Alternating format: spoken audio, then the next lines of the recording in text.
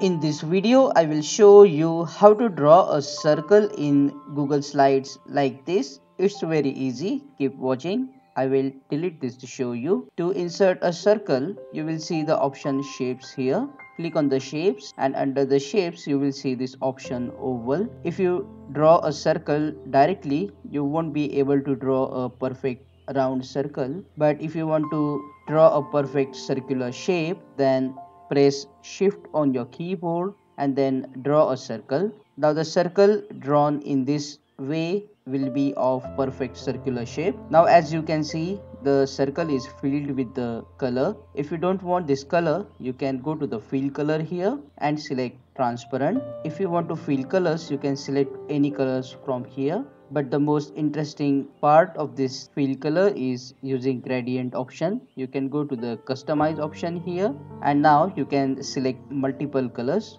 for example i will select green then click add then select any other color like this. And now you will see the preview how the color will be filled in the circle. You can change it to radial. You can also play around with many different options here. You can also play with this slider to change the color area. Once done just click on ok and you can see now the circle is filled with multiple colors. If you want to add text inside the circle double click inside the circle. Then you can type anything you want. Then select the text. You can format the text from here and you can increase the font if you want to. You can change the text color from here.